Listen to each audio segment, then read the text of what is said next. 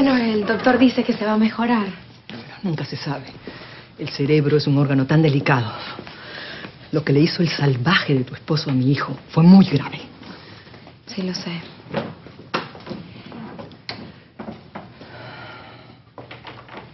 ¿Y Joel? Seguro que se fue con la Shirley esa. Como se ve que son hermanos. Dime una cosa, ¿tú estuviste presente en la agresión? Sí, señora Frida, lamentablemente. Sí. Joel no midió las consecuencias. Voy a buscarlo.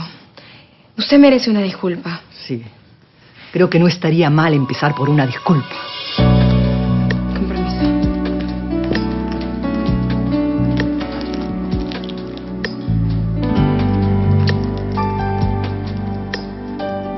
Y dices que se cayó solo.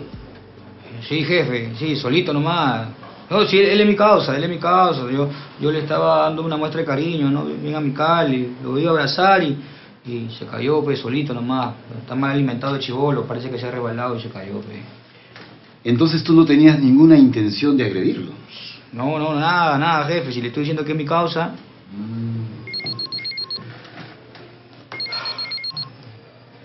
¿Aló? ¿Sí? Entiendo. ¿Hay testigos? No se preocupe, yo me encargo. ¿Qué ha?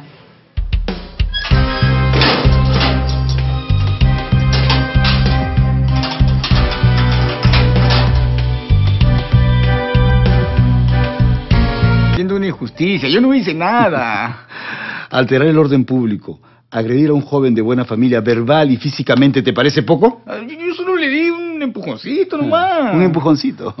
Y ese empujoncito casi le cuesta la vida al señor Rege. Ah, eh, pues, déjame salir. ¿Salir? La mamá del señor Rege te ha puesto una demanda. Y dudo mucho que veas la calle en mucho tiempo. No, no, no, no, señor. Eh, eh, jefe, soy inocente. ¡Soy inocente!